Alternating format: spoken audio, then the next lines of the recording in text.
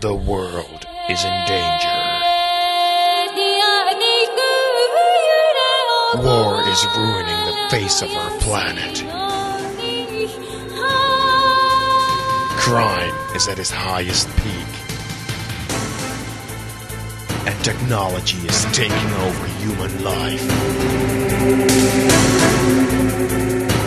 Thankfully, there is one man who can make other people live again. White Bane's report.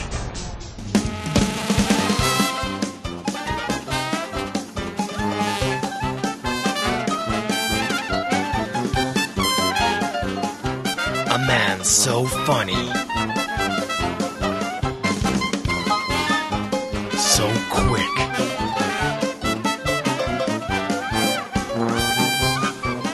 So stupid.